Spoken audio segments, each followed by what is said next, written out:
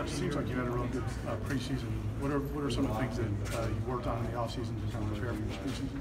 Uh, worked on the ball with my brothers and worked on my route running and stuff. And coming together with my coach. How much different do you feel this, this year compared to a year ago? Uh, I feel a lot different. I feel more like a veteran, and um, I'm more like trying to lean on the younger guys, trying to get them to become one of us. You know. What do you think things are that maybe are easier now that were really tough, you know, this time last year when you were just starting out? Practicing, period. Like practice before was way harder for me because like, like adjusting from high school to, to college was way difficult. It was very difficult. for me. With your speed, learning route running, how much are you able to apply that trait to it and kind of, you know, find new ways of doing your craft? Um, it's actually not that hard. Um, applying my speed to the field is like it's, it's very natural to me.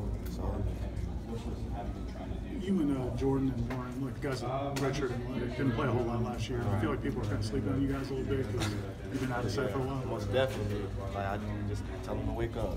How much do you guys, I mean, everybody, like there's like six of you guys that got here last year. Do y'all kind of push each other and, and also lean on each other? Endless competitive.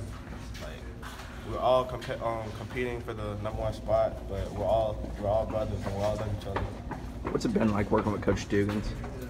Um, it's, it's, it's been a process. Like I love it. Like everything he does for us is it's always it's always because of us. Like he, he's, he's number one. Has his approach helped you break through, or is it simply maturity that's kind of helped you take the big leap from last year to this year? Um, with me, maturity, um, just fight. You know.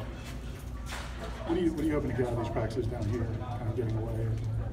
Um, I hope to like just gain more like competitiveness and just clear our minds. You know.